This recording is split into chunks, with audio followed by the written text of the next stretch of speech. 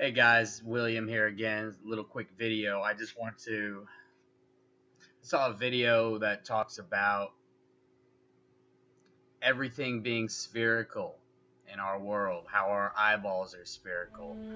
Just that just that is, you know, it's like what? We're not able to see level things?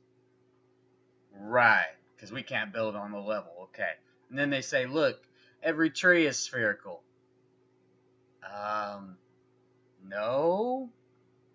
A portion of the trees are spherical, and that's not even a sphere, dude. That's like a small little cone. A sphere is a ball. And then you say, hey, look, all the rings of trees are circular.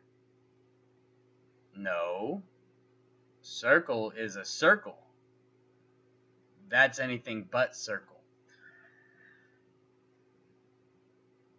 Saying a tree is a sphere and saying that that shows that our world is a sphere.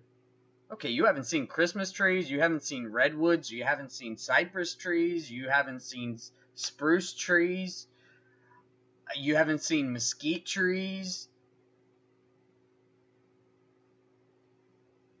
Okay, so there's some spheres in nature you say so that means we're on a sphere. No.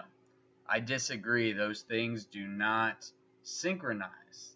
And someone who tells you that A is Z because ABC